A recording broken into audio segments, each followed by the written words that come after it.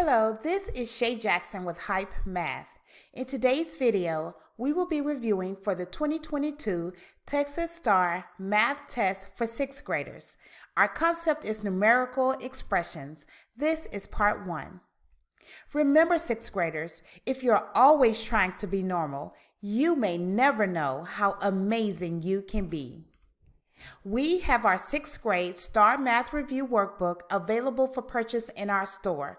The link is in the description box so that you can grab yours today. Don't forget to hit that subscribe button, click that notification bell, and press the like button so that you will be alerted to new videos we upload and also spread the word about Hype Math. We greatly appreciate your support. Let's dive in and let's talk about prime factorization. It is a way of expressing a number as a product of its prime factors. And remember, prime factors is where the only numbers that are factors are 1 and the number. So let's look at the tree method on the left hand side. We are finding the prime factorization for 84. So we have 2 times 42 which is equal to 84. Now, since 2 is a prime factor, we are going to focus on 42. 2 times 21 is equal to 42. So again, 2 is a prime factor. That is why it's circle. Now let's focus on 21. 3 times 7 is 21.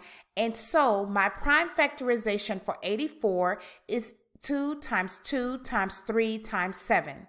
Now, some ways you will see it because I have 2 times 2, it will be 2 squared times 3 times 7, which is the same thing. The exponent 2 means that I need to multiply 2 by itself 2 times.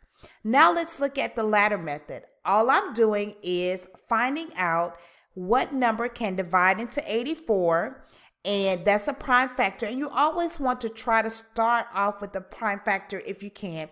If you can't remember then it's okay to start with whatever numbers you have and then go from there continuing to dig down until you get the prime factors. So we know that 2 can go into 84 so 84 divided by 2 is equal to 42 we know that 2 is a prime factor of 42 42 divided by 2 is equal to 21. And now for 21, my two factors are 3 and 7. They are both prime numbers. So again, the prime factorization of 84 is 2 times 2 times 3 times 7. Let's also talk about exponents because we saw one with 2 squared. An exponent shows how many times a number called the base is used as a factor. So we see that on the left hand side we have a chart. It shows expanded form a times a and then in exponent form, it's a squared, and that's similar to what we had with our 2 squared. And we continue on a times a, a times a that's a to the third power or a cubed. And then a times a times a times a is a to the fourth power. Now, looking on the right hand side, we break down and we show what our base is, which is 10, and the exponent is 5. That means I am multiplying 10 by itself five times. So it's 10 times 10 times 10 times 10 times 10. And that is equal to 100,000. Let's dive into our problem. And remember, we have our workbook for sale so that you can follow along in your workbook. Number 21 says, Mr. Gonzalez showed students part of the prime factorization of 90. One factor is missing. What number completes this prime factorization? So in order to solve this problem, the first thing I'm going to do is ask myself, what am I looking for? And I am looking for the number that completes the prime factorization of 90. Now that I know that, what information can help me find the answer? And it's looking for the prime factorization of 90. Now, we already know two of the numbers, really three of the numbers, um, we have 2 times 3 squared or 2 times 3 times 3, but we write 3 squared, okay?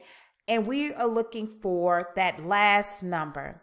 Now that we know the information we're looking for, how are we going to solve the problem? And again, it's finding the prime factorization of 90. So let's do that now. Using the ladder method, we are starting off with 2 because we already know that that's part of the example we're given. 2 divided into 90 is equal to 45. And then we have 3 divided into 45 is equal to 15. And the two factors of 15 that are prime are 3 and 5. So my prime factorization of 90 is 2 times 3 times 3 times 5 or 2 times 3 squared times 5. So what is our correct answer?